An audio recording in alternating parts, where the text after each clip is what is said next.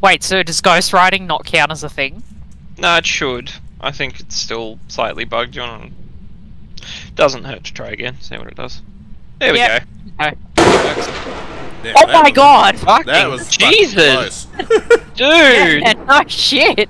that was ridiculous. Considering your hell. mic picked up on it without you talking, yes. Yes, I would say so.